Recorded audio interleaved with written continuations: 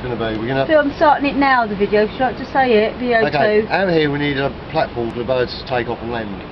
So, using this as the base, we're going to cut the wire here about halfway up, put in another one of these here, and then we're going to have a hinge door that falls open, which will be held up by chains to give them a nice secure landing platform.